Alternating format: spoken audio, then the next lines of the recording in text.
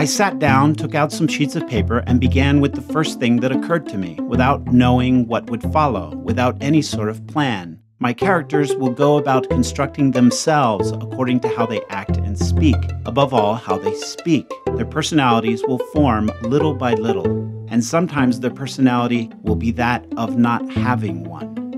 Miguel de Unamuno, Niebla. Hi there, and welcome back let's continue our journey through history's greatest novel. Roque's example of justice among thieves widens its scope when a coach and a group of travelers appear. They are headed for Barcelona, and Roque orders his men to hijack them. While this blatant highway robbery takes place in the background, Don Quixote and Roque have an intense conversation. Roque confesses that he is morally misguided. He has chosen the life of a bandit because of a strange desire for revenge, wanting to avenge myself of a certain grievance that was done to me. All my good inclinations come crashing to the ground, and I persevere in this state over and against all that I know.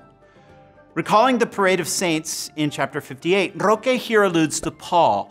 For what I do is not the good I want to do, no, the evil I do not want to do, this I keep on doing.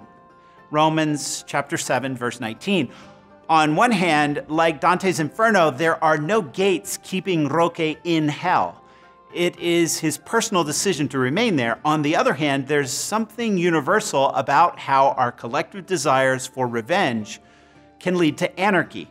Just as one abyss calls forth another and one sin leads to the next, vengeances have been strung together in such a way that I now assume the weight not only of my own, but of others. The result echoes the encounter between Cardenio and Don Quixote in Sierra Morena. Another labyrinth needs a guiding light. Even though I find myself out in the middle of the labyrinth of my own confusions, I am not without hope of escaping and getting to a safe harbor. Don Quixote's response combines the Christian idea of salvation through penitence with the Platonic metaphor of political advice as medicine. Your grace is ill, you know your sickness, and heaven, or I should say God, who is our physician, will apply medicines to you that will cure you, medicines that tend to cure little by little not suddenly or by way of a miracle. Note Don Quixote's very modern swerve here away from miracles. Nevertheless, he tells Roque to join him and suffer the life of a knight errant because that way he can go straight to heaven. Roque changes topics by telling Don Quixote the story of Claudia Jeronima, to whom Sancho was particularly attracted. Sancho's bias here is perhaps sexual, perhaps political. The beauty, confidence, and spirit of the girl had not seemed bad to him. At this point, the bandits arrive with their captives, and everyone stands before Roque, the vanquished and the victors. The scene recalls Don Quixote's encounter with the Basque woman headed for Seville in chapter 8 of part 1, but it's more complex this time due to the presence of Roque, the diverse statuses and destinations of the travelers, and the intense monetary calculation that takes place regarding the booty. The hijacked party consists of two infantry captains on horseback accompanied by two mule boys, then two pilgrims on foot, and finally a coach containing the wife of the regional governor of Naples, her daughter, a maid, a lady in waiting, and six servants. We learn their respective destinations and the amounts of money that they carry. The companies of the soldiers are in Naples, but they are headed to Sicily with 200 or 300 escudos. The pilgrims are headed to Rome with 60 reales. The women are headed to Naples with 600 escudos. Did you know? Cervantes was in Naples during the years 1570 to 75, during which he participated in the Battle of Lepanto, 1571, and the naval expeditions against Navarino, 1572, Corfu, Bizerte, and Tunis, 1573.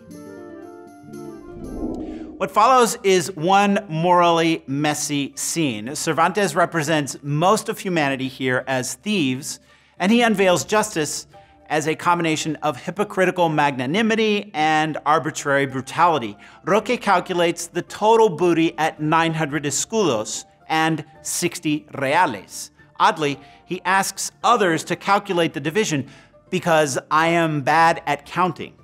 Since he has 60 men, this makes for 15 escudos and one real for each of them.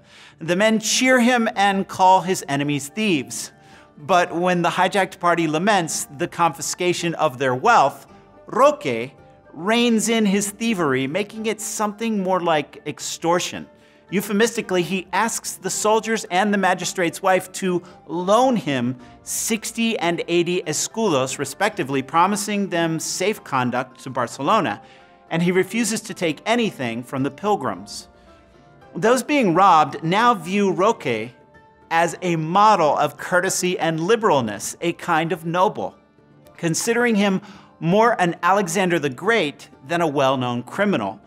His division of the booty is weirder. Of the 140 escudos, he gives two to each of his men. Then he gives 10 to the pilgrims, and the final 10 to none other than Sancho, so that he will speak well of him.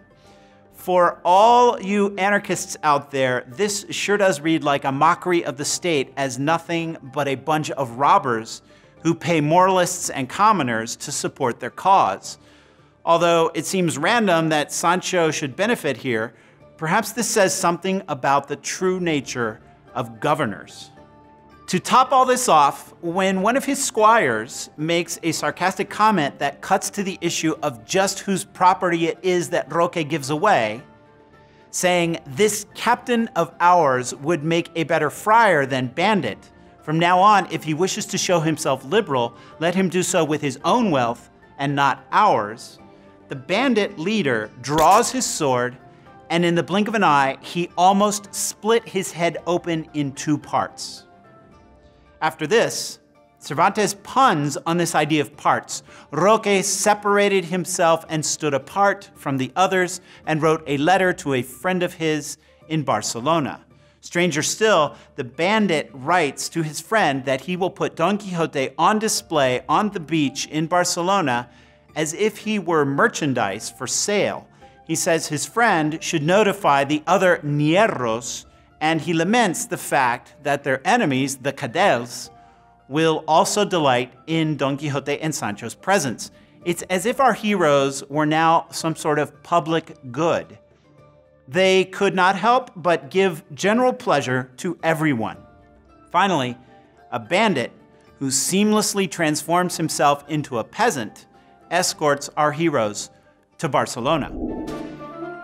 Quixotic mission. What does Roque Guinart do to his impertinent lieutenant? A. He throws his shoe at his head. B. He shoots him in the stomach with his shotgun. C. He parts his head in two. Correct answer C. He parts his head in two. In chapter 61, Don Quixote and Sancho arrive in Barcelona after three days in the company of Roque, whose life consists of constant movement and paranoia. Our heroes see the ocean for the very first time in their lives. Barcelona is preparing for the feast day of St. John the Baptist. The nobility and the military greet Don Quixote with trumpets and banners, and cannons fire salvos from the fortresses as well as the galleys. Roque's friend now arrives with other horsemen dressed in full regalia, and they all circle about Don Quixote. This symbolic gesture accompanies a loud welcome that distinguishes the hero and his original Moorish author from the apocryphal ones. Let the valiant Don Quixote of La Mancha be welcomed, not the false one, not the fictional one, not the apocryphal one who has been shown to us recently in fake histories, but rather the true one, the legal one, the faithful one described for us by Cide Hamete, that flower of all historians. Finally, some mischievous boys tie spiny shrubs to the tails of Rocinante and Sancho's ass, causing them to buck and throw our heroes to the ground. a triumphant entrance into Barcelona ends in comic shame. That's all for now. Keep reading. The story only gets better in the coming chapters. If you liked this video and want to continue learning more about the knight errant Don Quixote de la Mancha, you can subscribe to our YouTube channel here. Also, you can enroll in our free online course on Don Quixote by clicking here.